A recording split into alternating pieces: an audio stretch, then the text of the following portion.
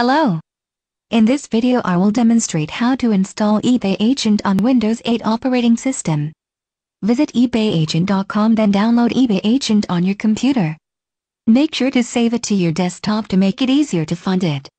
Microsoft.NET 2.0 framework is required for eBay Agent to run. Let's open computer window, then click on Computer tab.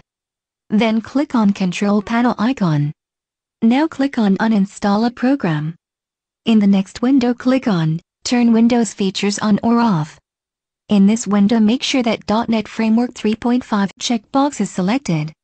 If it was already selected then click Cancel, otherwise make this checkbox selected and click OK. If you are connected to the internet then in the next window click on Download files from Windows Update. Now wait for the files to finish downloading. That's it for part 1.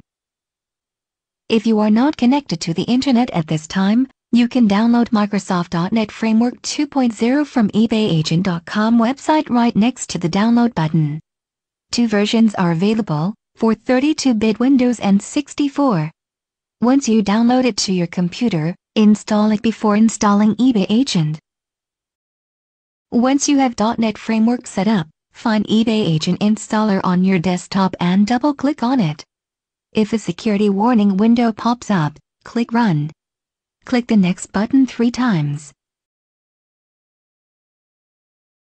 If you get another security warning that looks like this, click Yes button. Finally click a Close button and we're all set.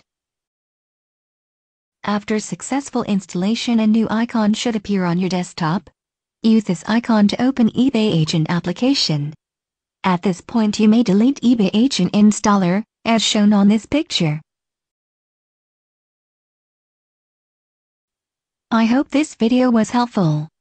You can rewind this video and play each step separately so you can follow each step.